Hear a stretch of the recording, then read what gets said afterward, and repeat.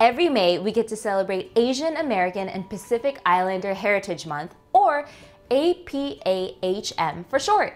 From May 1st to the 31st, groups and individuals learn, visualize, and celebrate the historical and cultural contributions of Asian and Pacific Islander descent in the United States.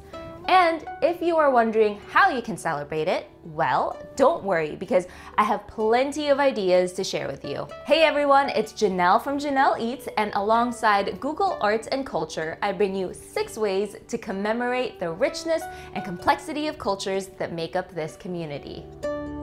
Okay, okay, okay, hold on a minute.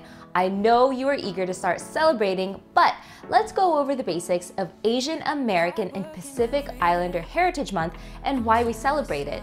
Yes, it's a mouthful, but APAHM is important because it recognizes the historical and cultural contributions of the community while also advocating for immigration reform. APAHM originated when then President Jimmy Carter started a week-long celebration in the first week of May to commemorate the first immigration of the Japanese to the US on May 7, 1843 and to honor the completion of the Transcontinental Railroad in May of 1869, the building of which up to 20,000 Chinese workers participated in. Years later, Congress passed a bill that expanded the week-long celebration into a month-long event. At first, it started as Asian American Heritage Month, an umbrella term that emerged at the same time the field of ethnic studies was evolving in the United States. Scholars Emma Gee and Yuji Ichioka coined the term in 1968 as a result of the Black Power movement.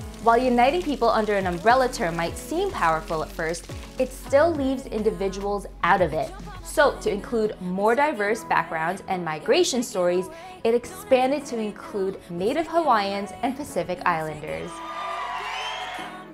A great way to start commemorating this month is by exploring Roger Shimomura's painting, Shimomura Crossing the Delaware, a play on Emanuel Leutze's 1851 painting, Washington Crossing the Delaware, Shimomura delves into the challenges faced by those of Asian descent in the United States. The artist combines American cultures with Asian traditions to discuss Americanism and patriotism and how these two affect the lives of people across racial and ethnic lines.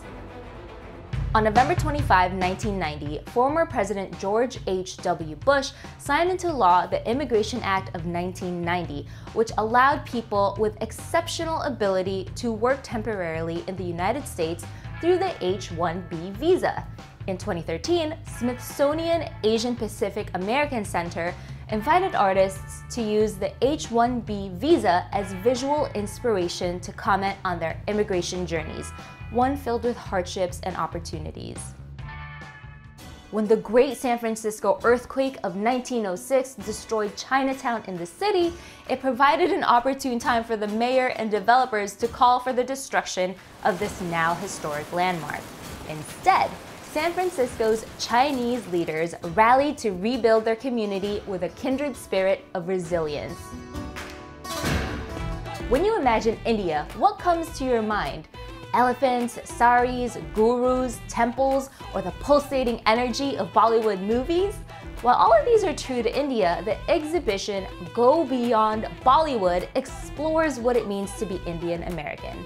The photos highlight all the contributions made by this community, from engineering and medicine to everyday aspects of life, they have it all.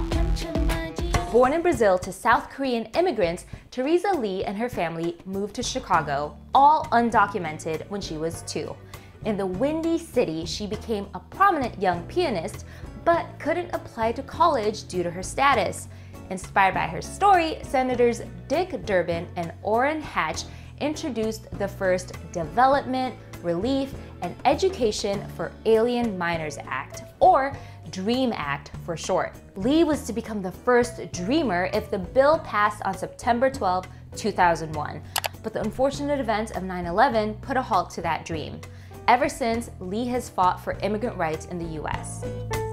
Kapiolani and Liliuokalani, both queens of the Kingdom of Hawaii, worked their whole lives to improve the quality of life for their people.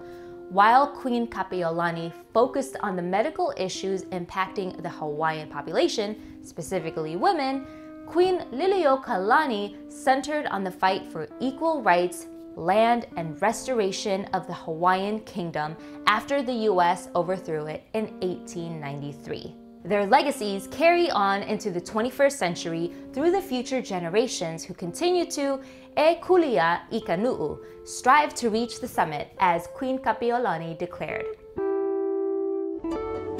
While it's important to celebrate Asian American and Pacific Islander Heritage Month, we must remember that change comes when we use our privilege to advocate for immigration reform and fight against systemic racism. Let's use this month to acknowledge the history behind these communities in the United States and how they've contributed to the development of the nation. If you want to keep celebrating, make sure to visit Google Arts and Culture's Asian Pacific American Cultures for more amazing stories.